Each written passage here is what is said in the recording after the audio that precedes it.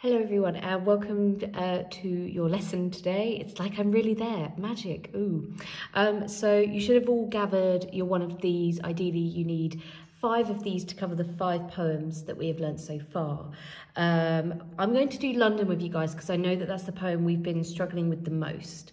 Uh, so the first thing you need to do with your sheet, feel free by the way to follow along with what I'm doing, copy what I write as best you can, um, and then there's one sheet done for you right away. You write the poem's title right in the middle of the revision clock. And the best way to get these revision clocks uh, working is to do an image related to them, so I could do my very crafty London eye here to, um, wow, what artistry. I could do some skyscrapers um, and uh, maybe because uh, it's the Industrial Revolution, some smoke out chimney. You guys will do much better. So do a nice little image because then it just brings the whole thing together and it'll be beautiful, wonderful. And then you fill in each of these boxes around here. Um, I'm going to go uh, all the way and uh, use felt tip pens with a different colour in each section because we want these to be things you actually revise from in the future. You can do these in any order that you like. And my best advice is to look back in your poetry anthology, look back in your books, if you're struggling from memory with how to uh, fill all these in. Um, I would say the easiest box to fill in, first of all, is this one. free adjectives to describe the tone of the poem. I would say that William Blake, when he wrote this poem, he felt um, quite enraged because he was quite angry about all the problems. Um, and then I could even, you know, keep adding pictures as you do this do kind of an enraged, grumpy face. Wow, art again.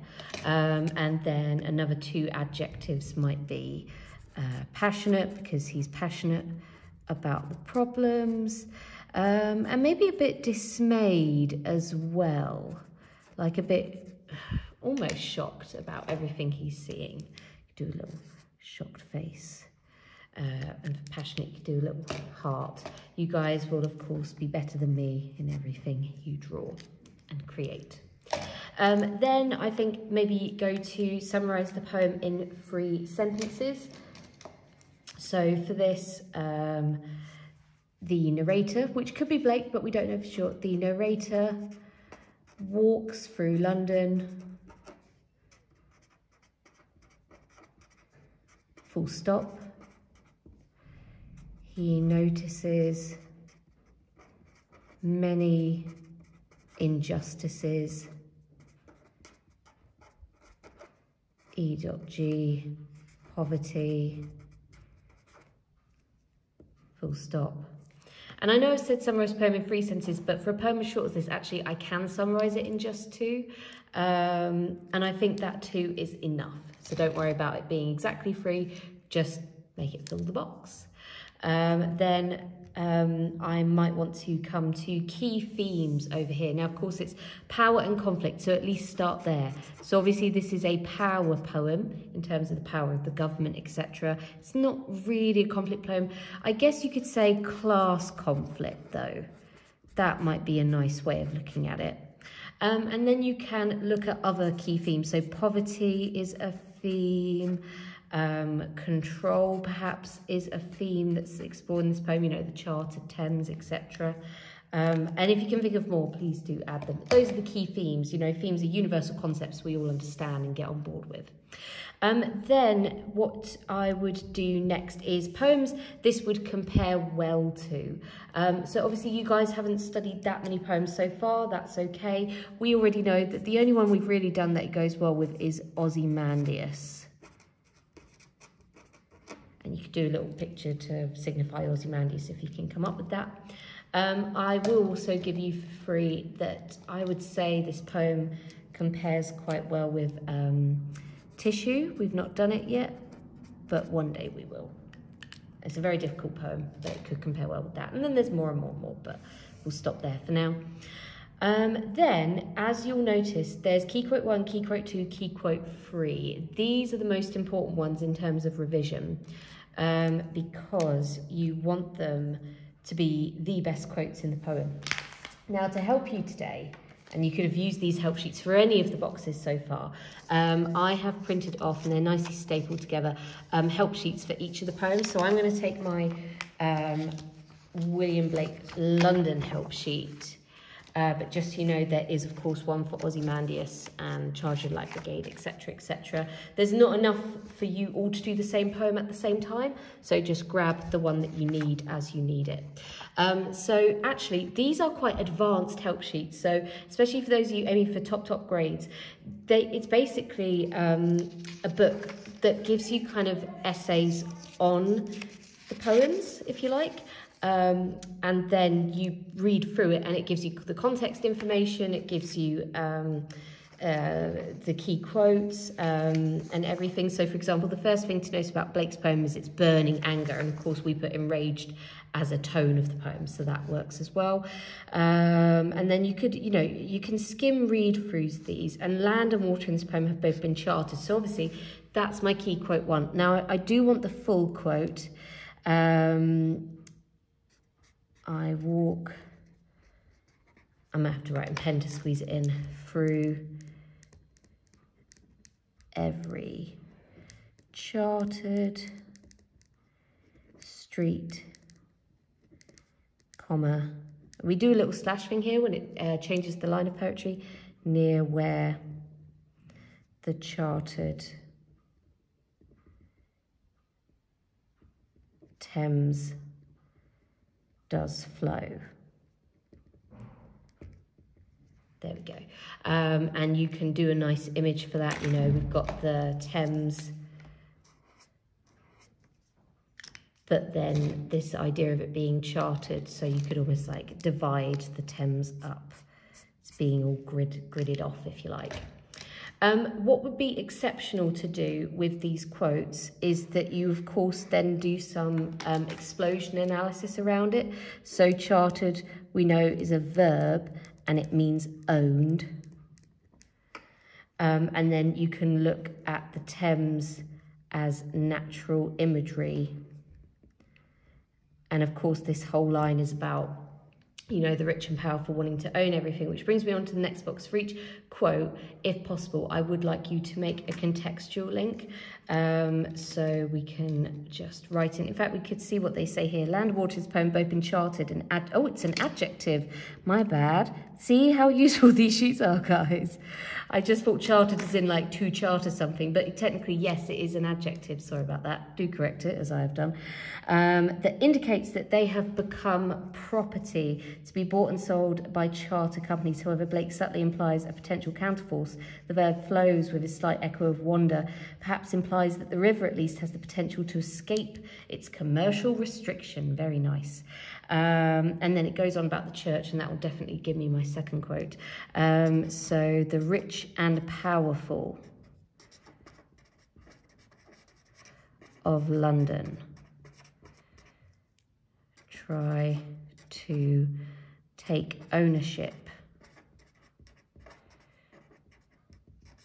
of natural things.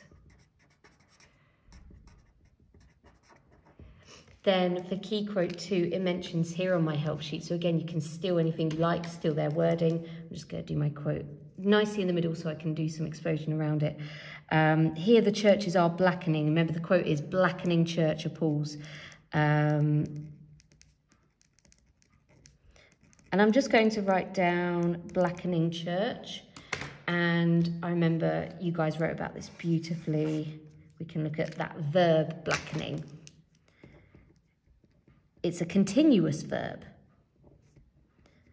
It's not just a blackened church, it's blackening. It continues to, um, so it's, it kind of reinforces this everlasting corruption and decay. And then, of course, the church being a religious symbol.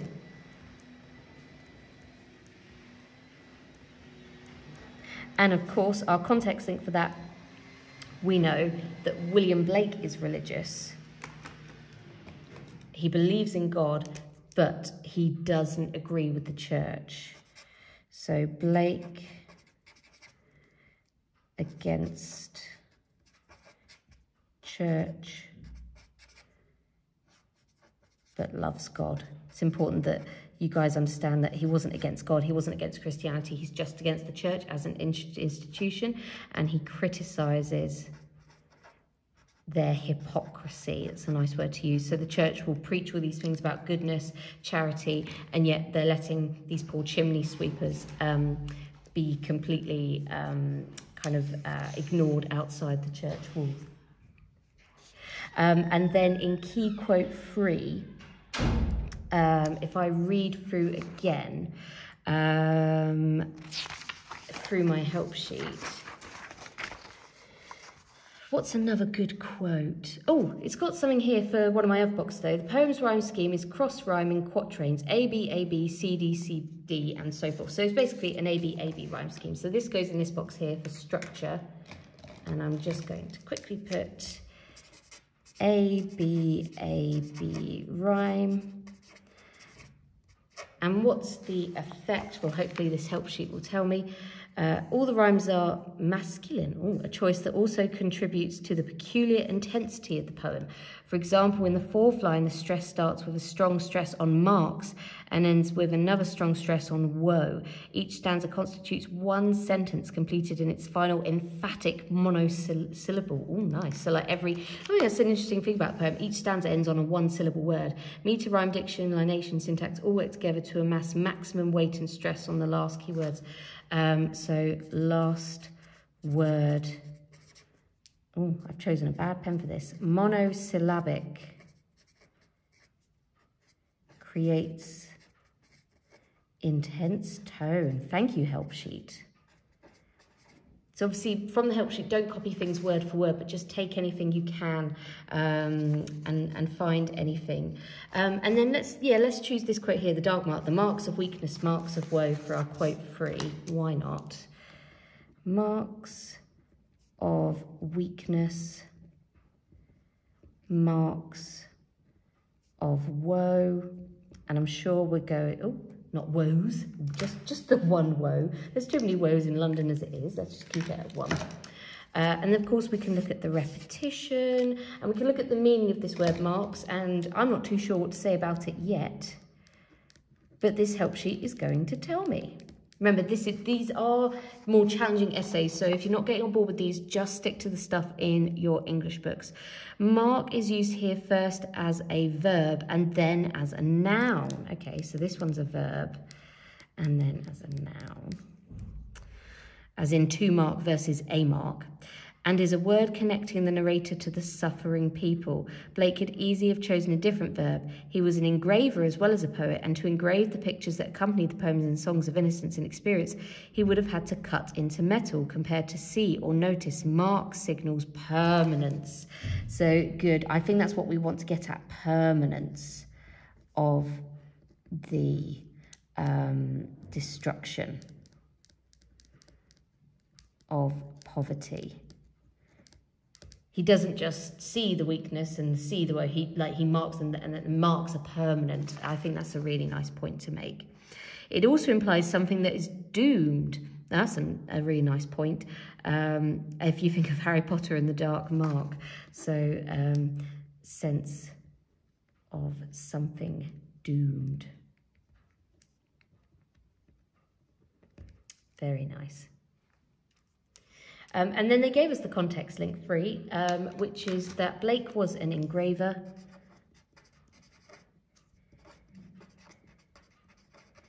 And so therefore knows the um, kind of the meaning, but also the importance of this word. Importance of this word. And we can do a little arrow as well to show what we're linking it to. Um, and then we've only got one box left. What's the poet's message? And you guys were great with this on your homework. You can, of course, skim through the help sheet and hope that they eventually tell you why William Blake uh, wrote the poem, etc., etc., etc. But I think off the top of our heads, we can probably do this. In a nutshell, Blake wants to um, kind of, in the same way William uh, Wilfred Owen does, like to expose everything. So let's use that word, expose the class divide, and oppression of poor in famous, ooh, sorry, capital city. Because as we know, London has all these connotations of wealth and power, and yet William Blake is showing the kind of dark underbelly, but the true dark underbelly of it all um, to everyone. I'm sorry this took a while, but of course I wanted to explain how you might use um, all of your stuff to create one of these lovely revision clocks. Yours will look better. Um, I've realised maybe don't use the felt tip pens if they're going to be a bit too thick and you won't be able to fit, fit it all in. Um, but do add pictures, do add lovely things, um, and these are lovely to go on your wall to revise the permit at a later date. See you after half term. Bye everyone.